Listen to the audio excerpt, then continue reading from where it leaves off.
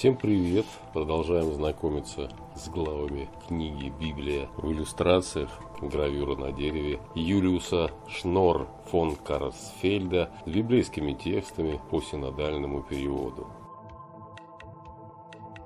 Ионафан и Давид И отдал Ионафан оружие свое отрок, бывшему при нем, и сказал ему, ступай, отнеси в город Отрок пошел, а Давид поднялся с южной стороны и пал лицом своим на землю и трижды поклонился. И целовали они друг друга, и плакали оба вместе, но Давид плакал более. И сказал Иоаннафан Давиду, иди с миром.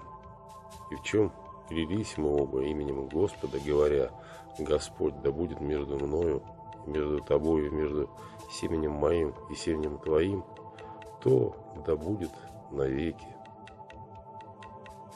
Текст по книге «Библия» в иллюстрациях, гравюра на дереве Юлиуса Шнор фон Карсфельда с библейскими текстами по синодальному переводу.